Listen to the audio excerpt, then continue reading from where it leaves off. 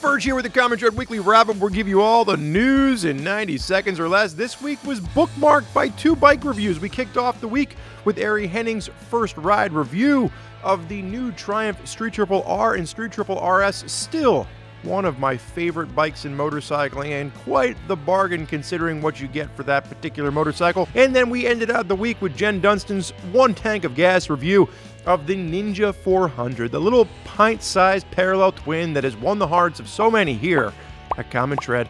In the middle of the week, we had some new contributors. We had an article from a returning rider about getting back into the wonderful world of motorcycling and making a wrong choice along the way, perhaps. And then we also had a article from an individual named Jeff. Jeff has written before for sites like Bike EXIF, and he is bringing his love of custom motorcycles to the Common Tread audience. All that, much, much more this week on Common Tread.